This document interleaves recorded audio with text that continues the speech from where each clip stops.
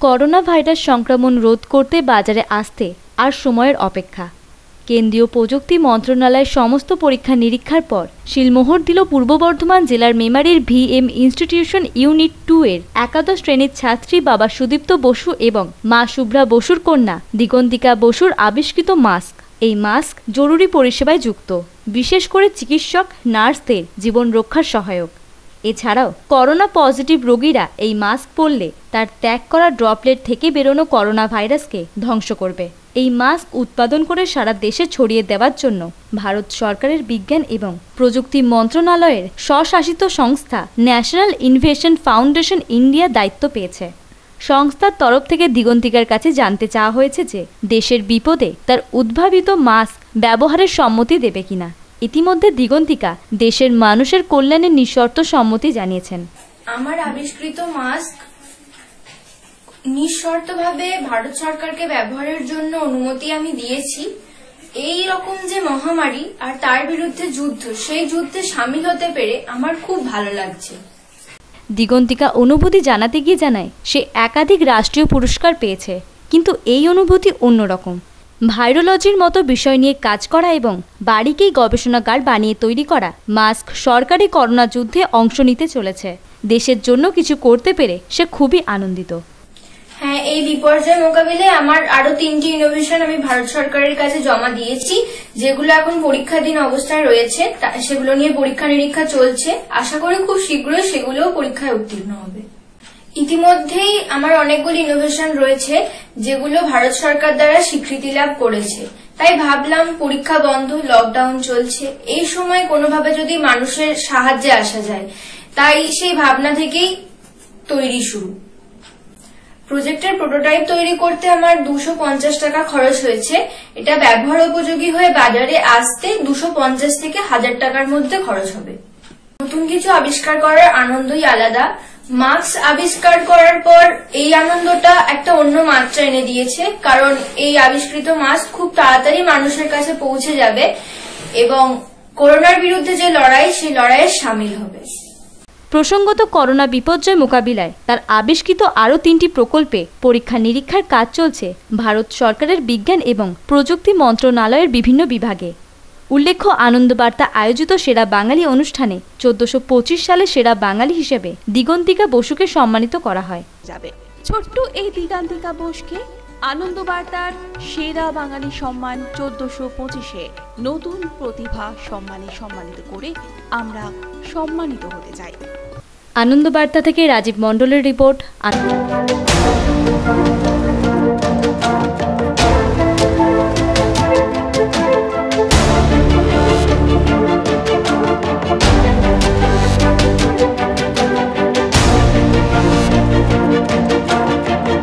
নমস্কার, আমি কুশল চক্রবর্তী। আশা করি আপনারা সবাই ভালো আছেন, বাড়িতে আছেন, বাড়িতেই থাকবেন, বাইরে বেরোবেন না।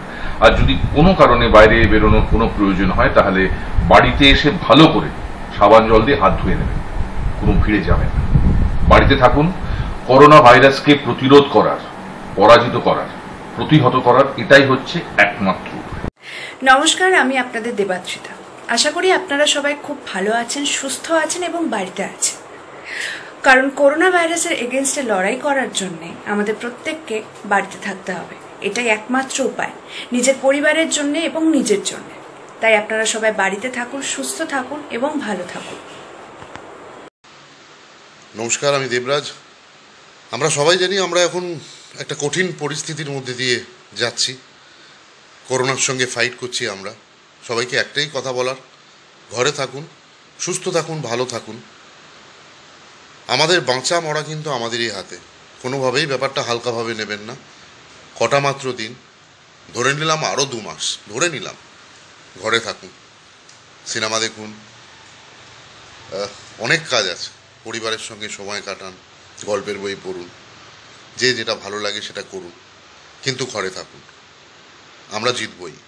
নতুন সূর্য উঠবেই। ভালো থাকবে গড ব্লেস নমস্কার, আমি সঞ্চারী। আমরা সবাই জানি যে আমরা খুব কঠিন সময়ের মধ্য দিয়ে যাচ্ছি বর্তমানে। এই করোনা ভাইরাসের হাত থেকে বাঁচার জন্য আমাদের সামনে সবার আগে একটাই রাস্তা খোলা আছে। আমরা যেন অপ্রয়োজনে বাড়ির বাইরে না যাই এবং ভিড় জমায়েত এড়িয়ে চলি। যদি খুব প্রয়োজনে বাড়ির বাইরে যেতেও হয়, তাহলে যেন ফিরে এসেই আমরা সাবান দিয়ে হাত ধুই। আমরা যেন স্যানিটাইজার যথাসম্ভব ব্যবহার করি। এছাড়া কিন্তু করোনা ভাইরাসকে আমরা প্রতিহত করতে পারব না। আপনারা আশা করি এর গুরুত্ব বুঝবেন। আপনারা সবাই সতর্ক থাকুন, সাবধানে থাকুন। নিশ্চয়ই আমরা একসাথেই লড়াই জিততে পারব। নমস্কার, আমি সঞ্জয়। আপনাদের সবার কাছে অনুরোধ, এই করোনা ভাইরাস মোকাবেলার জন্য কয়েকটা দিন বাড়িতে থাকুন। দেখবেন সব ঠিক হয়ে যাবে। ভাইরাসটা যতই মারণ ভাইরাস হোক না কেন, চিকিৎসা আমাদেরই হাতে। ঘরে থাকা, নিজের পরিবারের সঙ্গে থাকা নিজের পরিবারকে ভালো রাখার জন্য, নিজে ভালো থাকার জন্য। প্রত্যেকে বাড়িতে থাকুন। নমস্কার, আমি সন্দীপ নন্দী বলছি। আশা করি আপনারা সকলে ভালো আছেন আর ঘরেতে আছেন। এই আগামী কটা দিন আপনারা প্লিজ ঘরের মধ্যে থাকুন। তাহলে আমরা এই করোনা যুদ্ধে জিততে পারব। কারণ করোনাকে হারাতে হলে কিন্তু ঘরেই থাকতে হবে। অযথা বাড়ির বাইরে বের হবেন না। আর যদি বাড়ির বাইরে বেরই হতে হয়, তাহলে বাড়ি ফিরে হাত ধুয়ে ভালো করে সাবান দিয়ে পরিষ্কার করে ঘরে ঢুকুন। আগামী কটা দিন বাড়িতে থেকে আপনি এবং আমার সমগ্র দেশবাসীকে বাঁচাতে সাহায্য করুন। নমস্কার। নমস্কার। কেমন আছেন? আশা করি আপনারা সবাই বাড়িতে নিরাপদে ভালো আছেন। আশা করব তো তাই। বাড়ি থেকে বেরোবেন না। বাড়িতে থাকুন। বাড়ির মানুষের সাথে সময় কাটান। আপনারা সবাই জানেন যে আমরা একটা কঠিন পরিস্থিতির মধ্যে দিয়ে যাচ্ছি। কিন্তু আমরা যদি সবাই আমাদের রাজ্য সরকার এবং আমাদের গভর্নমেন্টের কথা শুনে চলি, তাহলে এই যুদ্ধটা আমরা খুব শিগগিরই জয় করে ফেলব।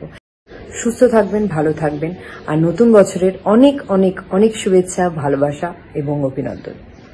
আমি আমার দর্শকদের বলব, নিশ্চয়ই তারা সবাই ভালো আছে, সুস্থ আছে এবং ঘরের মধ্যেই আছে আমার মতনই।